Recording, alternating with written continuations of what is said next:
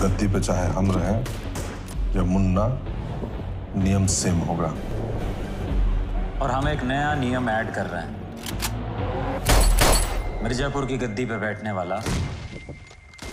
कभी भी नियम बदल सकता है